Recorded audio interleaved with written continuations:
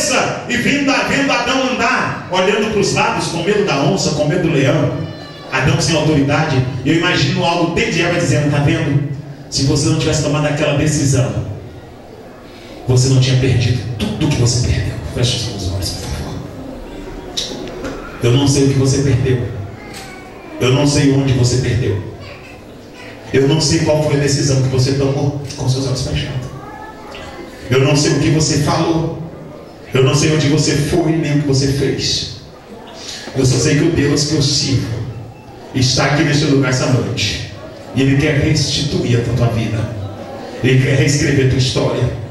Eu sei que o Deus que eu sirvo, Ele está aqui neste lugar, neste templo. E eu não sei onde você caiu, onde você tropeçou. Eu não sei onde iniciou sua queda. Eu só sei que a mão do Eterno está estendida. Está estendida para você essa noite. E esses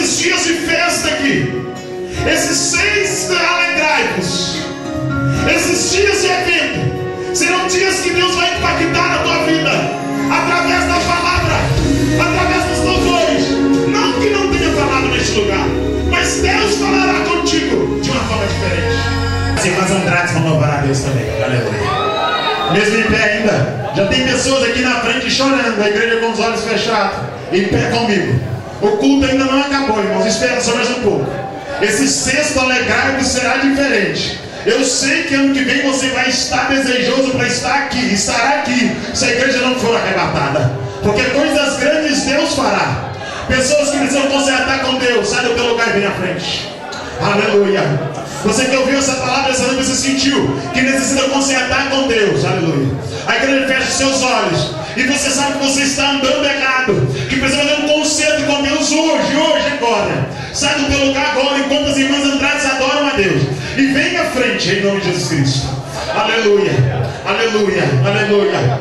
Você que é marido, esposa, você que é filho, que é filha, que sente a necessidade de consertar com teu pai, consertar com tua mãe. Vai e abraça o teu pai, abraça a tua mãe, peça perdão. Você que é marido, peça perdão para tua esposa. Você que é esposa, peça perdão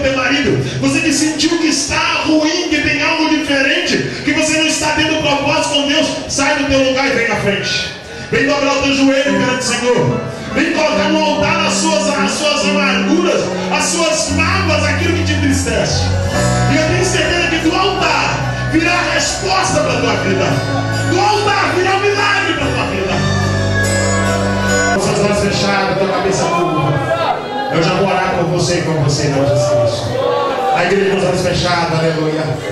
Há uma glória, uma presença aqui dentro, irmãos. Há uma graça aqui Enquanto as irmãs cantavam ao Senhor, enquanto eu fazia o apelo, a igreja com os. O que Deus colocou na minha alma aqui essa noite é que você não pode se dar por vencido. Você precisa lutar pela tua vida, lutar pelo teu casamento, lutar pela tua família, lutar pela tua vida espiritual. Você precisa esforçar uma reação. Pelo menos mostrar para Deus que você quer sair desse marasmo. Você quer sair dessa vida apática. Menos mostrar para Deus que você não quer viver nesse estágio, nessa posição, com seus olhos fechados. Você não pode se dar por vencido, por rendido, com seus olhos fechados. Quando Jesus chegou em Betânia e aquele homem estava 38 anos na beira do tanque, Jesus perguntou para ele: quer ser curado? Ele disse: Senhor, toda vez que eu vou, outro desce antes de mim. Jesus falou para ele: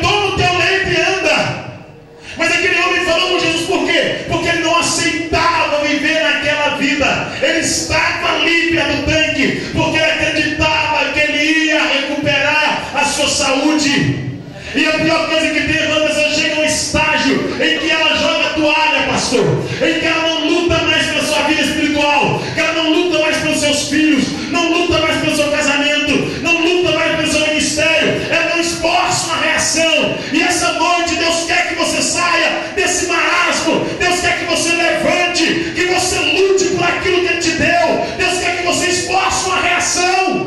Em nome de Jesus.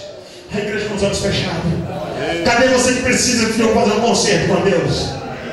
Já vou passar lá para o pastor Wilson, você já vai orar.